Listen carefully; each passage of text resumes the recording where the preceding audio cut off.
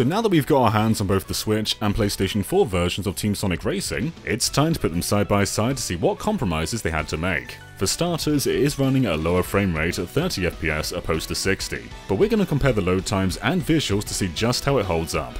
Ready? Oh yeah!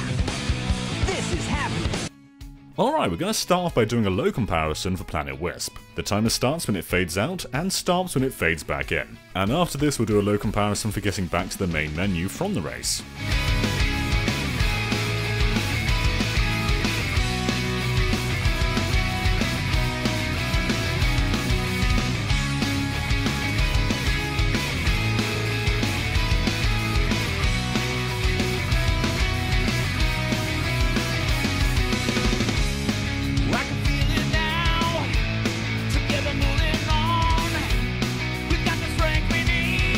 Okay, so those are really close, and kind of interesting as the Switch loads faster when getting back into the menu, only slightly, and the PlayStation 4 loads the race faster by about 4 seconds. Nothing too crazy to note there. But anyway, let's look at how the game itself looks. When